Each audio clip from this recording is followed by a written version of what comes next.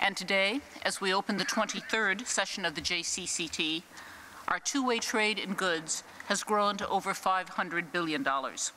We are now the two largest economies in the world, and our relationship, particularly our trade and commerce relationship, has never been more important.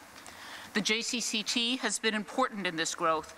To the distinguished Vice Premier, honorable ministers, This is an historic time for both of our countries as the elevation of China's new leadership and the re-election of President Obama coincide.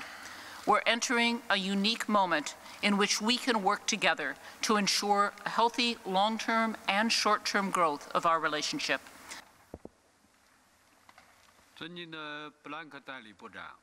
Among the uncertainties, what is certain is that the sluggish economic situation will continue for a long time to come.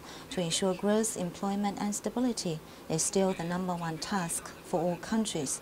China is the largest developing country in the world, and the United States the largest developed one. A stronger economic and trade cooperation will be critical to the economy of the two countries and the economy of the whole world. At this meeting, the two sides need to implement the agreement reached between the leaders of the two countries in real earnest, exchange ideas cand with candor and in-depth on issues of each other's concern, deepen cooperation in various fields, and send a positive signal to the outside. Now we will begin with our meeting discussions. I would invite representatives